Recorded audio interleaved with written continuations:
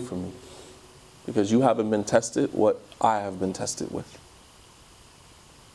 And the Prophet ﷺ, later on, it was told to her that that was the messenger of Allah you were talking to. And she went back and she apologized. And the Prophet ﷺ said to her, Inna sabr inda sadmat al That patience is exerted at the onset of the calamity, when it first happens. And the scholars, they categorize sabr, patience, into three categories. الصبر عن معصية الله الصبر على أقدار الله يعني قدر الله والصبر I'm forgetting the third one.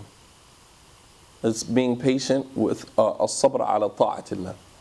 Number one, being patient upon obedience to Allah subhanahu wa ta'ala.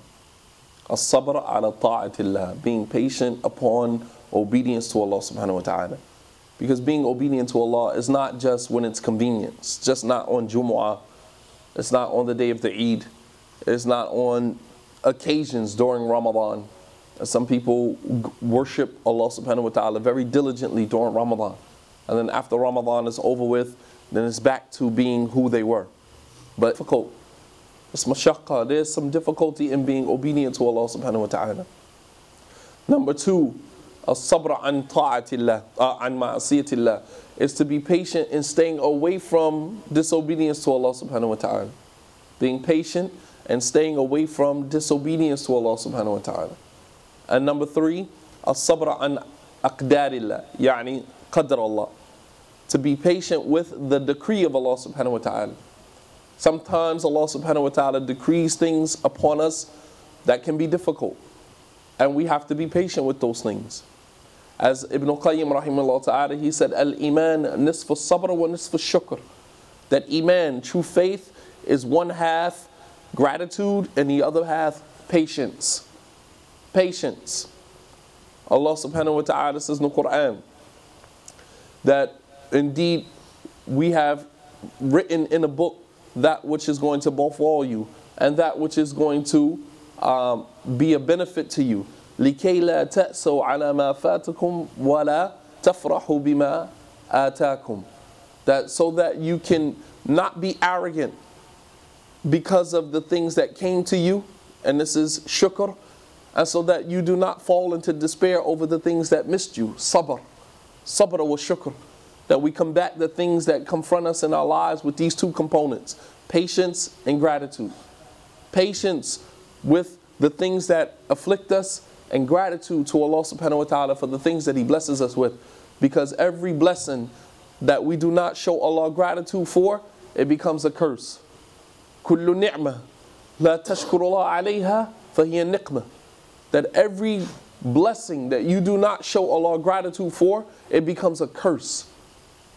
and showing gratitude to Allah subhanahu wa ta'ala and ending, as Ibn Qayyim said, Arkana shukr thalatha, that the pillars of gratitude are three. Number one, al-i'tiraf bi annaha min Allah jalla wa ala.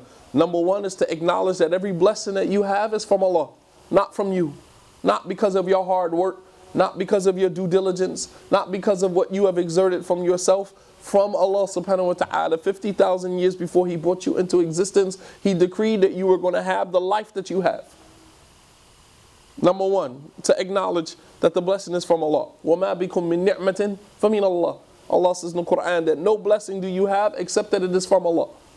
Number two is uh, is to use the the ni'mah in a manner that is pleasing to Allah subhanahu wa ta'ala. Isti'mal al-ni'mah fima yuridillah. To use it in a manner that is pleasing to Allah. Not to take something Allah blesses you with and use it to disobey Allah. But taking what Allah gave you to be obedient to Allah subhanahu wa ta'ala. And number three, التحدث بنعمة الله is to speak about the blessings of Allah subhanahu wa ta'ala, to talk about the blessings of Allah. Alhamdulillah, Allah loves to be praised for the blessings. And of course, this should be taken with a grain of salt, especially in the time that we live in, because perhaps you might narrate your blessing to someone and he might become envious of you because of it. As, as Yaqub, he said to Yusuf alayhi salam, لا تقصص رؤياك على إخوتك فيكيد لك كيدا do not narrate your story, your, your dream to your brothers, because indeed they will plot against you.